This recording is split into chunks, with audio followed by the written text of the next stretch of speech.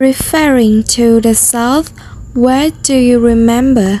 In my view, I recollect to An Giang province because I was born and grown up in this place, a rich piece of land at the headwaters of the Hau River. There are four ethnic groups living there. The Kinh people, Chinese people, Cham and Khmer ethnic.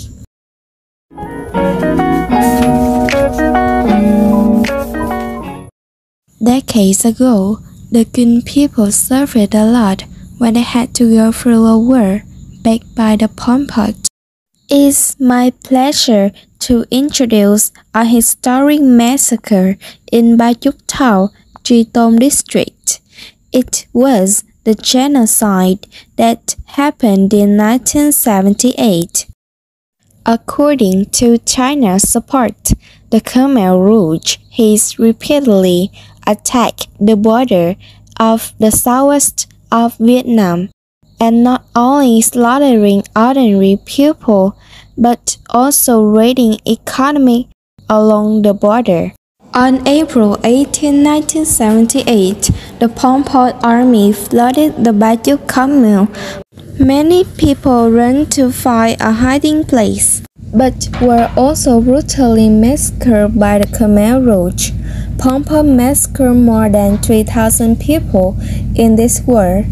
Only three persons survived after the massacre.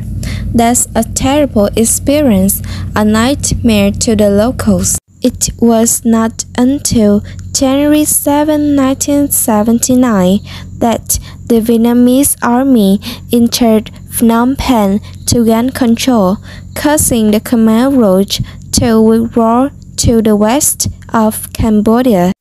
Currently, at Phi Lai and Tam Bửu pagodas, there are still bloodstains. It can be seen that Pot was so brutal that people's blood was all over the walls. And nearby the temple pagoda, a crate was built up to store the bones of the victims.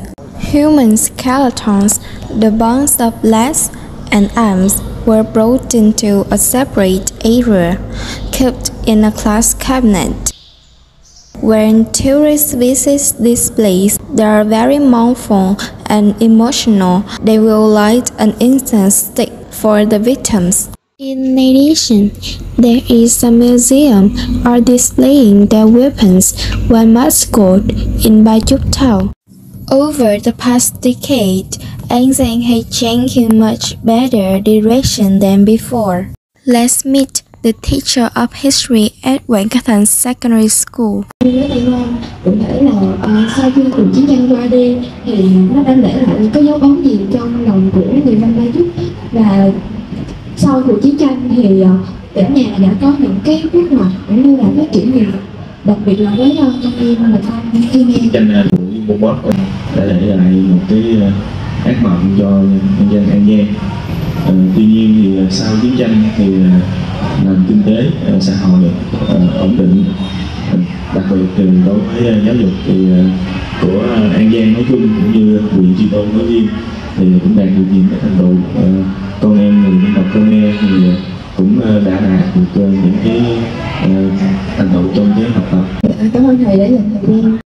The brotherhood between Khmer and Gun is more cohesive because not one wants war to happen, especially in their homeland. Therefore, the economy is also more developed. Especially in education, we have got considerable developments. Through this video, I convey the message that we should thank the soldiers who sacrificed their life for our homeland's peace and we should give hand to make our province more beautiful and developed. An Giang will be forever in my heart.